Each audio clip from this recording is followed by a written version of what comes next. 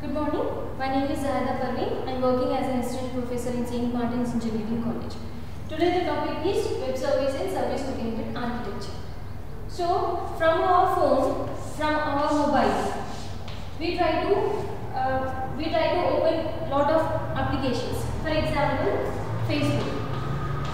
So, what is a web service is nothing but when we try to send a request from web service uh, Facebook application. From the Facebook application, we try to open it and we give our username and password. We give our username and password and it will be this uh, this request will be sent to the Facebook server. Facebook server re, uh, receives the request from the user and it searches. Along with the request, what we are sending? We are sending the username and password. That username and password will be received by the server and this server, Facebook server will be checking in the database related to this.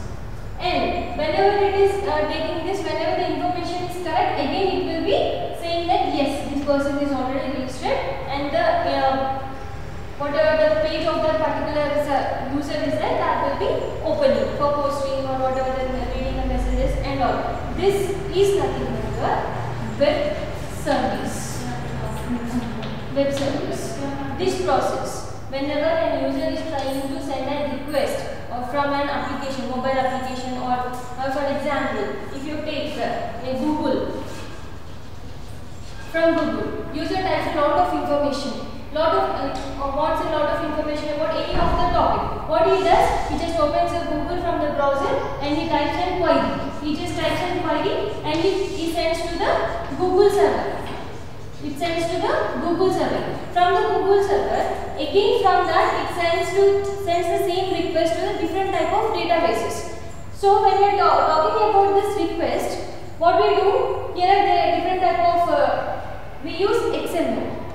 We use XML. Why do we use XML? HTML is nothing but just for the decoration purpose. Just if you want to develop any page, we use HTML. But if we want to send any information from one particular point one particular instant to the other particular instant, then we will be using XML. Here, for example, if you are taking the Facebook, whenever you are sending the username and password, this XML file will be encoded with this username and password by using post or get. The post and get are having their own purposes. It will be storing this information in an encoded format. The user, uh, whoever the middle user, is not able to see this information. By using this post and it will be sending the information of the user name and password to the server and then the process will be going on. So this is from the mobile. And generally from the Google or Google what it happens when the user uh, request for a query, that query is, uh, will be sent to the Google server. From the Google server, again it will be checking for, it creates multiple instances. It creates multiple instances so that it checks for different databases. It means that, for suppose if a user wants to search about web services, that or if a Google is a user is uh, searching for web services, it will be sending that query and the Google server will be send, uh, searching for the information related to the web services in different databases. From the different databases, again the information will be retrieved back to the user. So the structure, by seeing this structure, you can understand this just resembles a distributed systems. See this one? Now this is a Google. Okay, for suppose this is point A. From this point A, this user is uh, requesting for a, a query called web server. Web server. Now this will be gone to the, this request will be received by the Google server and this Google server will be uh, sending the request, same request about the Google web server topic to different type of instances or different databases. Okay, this structure, by this structure uh, we can understand that just resembles like a distributed, distributed computing, distributed databases. So this is nothing but the web service. So why we are talking about web services? This is nothing but an implementation of service-oriented architecture. So what do you mean by service-oriented architecture? Whenever we are talking about a service, uh, web services, when we are talking about something, uh, communication between two uh, softwares or communication between the human and the software, when we are talking about this sort of communication, the thing comes called service oriented architecture. By the name itself, we can understand that this is service oriented. Service in the sense the request, the communication. For suppose A and B, if there are two, whether it can be the software, whether it can be the user in the software, whatever it may be, the communication, the communication between A and B, the request, the response. This format is totally based on, is totally focused on service. That is why it is called as service oriented architecture based upon how a particular instant is raising a request, how the particular other instant is receiving the request and how it is trying to respond. By what sort of uh, by what sort of pages like XML, HTML, what sort of JSON, Java, C, what sort of programming language it is using to send the response and what is happening in between. That is nothing but service oriented architecture.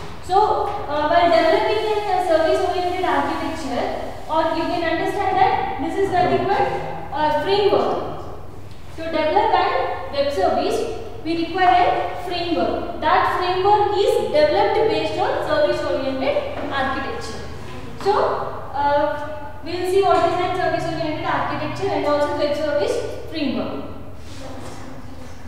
First suppose, as we said that service uh, oriented architecture is nothing but the communication between the software and the software or your uh, software of the human being. So what happens internally? What happens at how the software sends an information and how it receives the information will be seen this one. So there will be a service provider. There will be a service provider. So before start, before talking about this, I will be saying an example. For example, uh, in ATMs or in a banking process, what it does, there are different type of banks like HDFC, ICICI and other different type of banks. But all the banks will not provide the same sort of services. In one bank, for example, after uh, logging in through the web banking, we can check like you can get the e-statement. Some banks will be providing like e-statement from a particular day to a particular day. It means that or we can send uh, NEFT transactions, whatever the transactions are there you can do and also if you want to get the mini statement or uh, 10 transactions, recently 10 transactions there, different uh, type of services provided by different different banks. So, it, here just a simple thing is that whenever you are having different services, you will be clicking on that. Whenever you are clicking on, for suppose I want the transactions of 10 days, recent 10 days then you will be clicking on that particular option provided by provided by that particular bank. Whenever you are clicking on that option, then only it will be uh, giving you the output of 10 days. Recently uh, uh, happened 10 days of transaction information will be done. Here the thing is that the bank will issue that it has that sort of option. It is providing that sort of service so that you can work on that service. You can utilize that service. Here also, the service provider, whatever the service uh, provider it may be, it can be the Facebook, it can be any bank, any ATM, anything. That has to provide a service. That has to tell that I am giving this sort of services. So, the service provider will be listing out what are the services it is providing that will be listed out and it will be stored in a register. It will be stored in a register. Why it is stored in the register and uh, only one person will not be uh, using this service provided by the provider. A number of uh, customers will be there, a number of consumers will be there that will be using and all the consumers will not be using the same sort of uh, services provided by the service provider. They can use different different. That is the reason here the service provider will be listing out what are the services provided by the service provider and that will be saved. That will be saved in the directory or the register of a register that will be used by the consumer, service consumer. Service consumer. So while it is saving, while it is saving or to save, it will be using WSDL.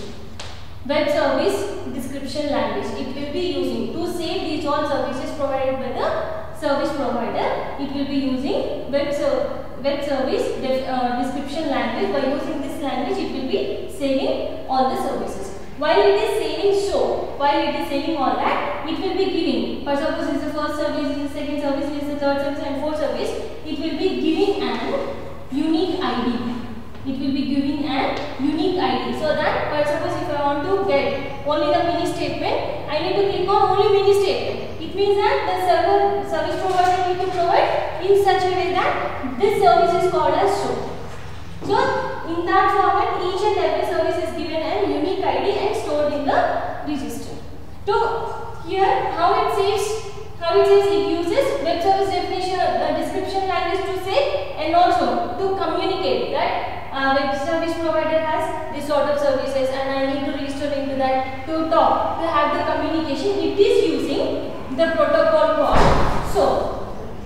It is using a protocol called SOAP. Simple uh, simple object access protocol. It will be using simple object access protocol to communicate, to tell that what are the services it having and how it is being registered and how it is being stored into the register to have the communication. Now, now once the service provider has listed out and registered all the services related to him regarding him into the register, now whenever the service consumer, whenever the service consumer wants to access that one, what he does, it will be asking whether uh, can I access for a particular service or not. It will be checking, it will be sending a request. It will be sending a request to the register that I need so and so like for suppose 10 days of uh, 10 days of recently 10 days happened e-statement I require. Then this service consumer will be asking whether this sort of option is provided by the service provider or not. If it is present in that, then this register will be saying yes, that sort of option is provided by the service provider, you can access. If it is not, then it will be saying that you need to move to the some other option, that sort of option is not present. Once you are getting the response, even here the service provider to communicate with the register, it will be using SOAP. It is nothing but simple, uh, simple it will be using SOAP and also uh, for the communication between the register and the service uh, consumer, it also uses the same protocol. Same protocol. And also, whatever the information it is stored in the register by the service uh, service provider, nothing but web service uh, description language. Here also you will be getting the response in the format of web service description language only.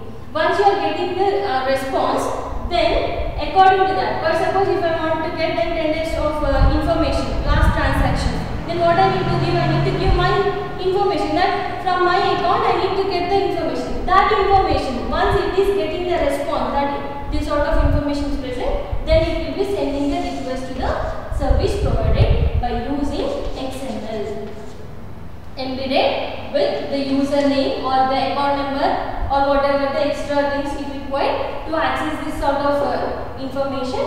It will be sending through XML embedded with your information in the format of WSDL only.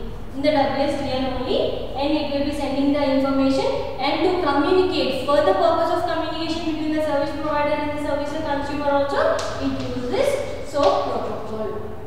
And once it is sending the information, then the service provider will be accepting the information and it will be searching further based upon the account number, IFSC provided by the service consumer, it will be checking in the database of that particular bank with by using this particular information provided by the service consumer. Once you are getting the information based upon the request raised, like what the consumer wants, it wants 10 days recent transactions done. 10 days of recent transaction done. So that information will be collected by the database. Again, then as a response, it will be given in the XML format only to the service consumer. So this is all what happens actually. So this is called as a web service framework. And this is a heart of a service oriented architecture.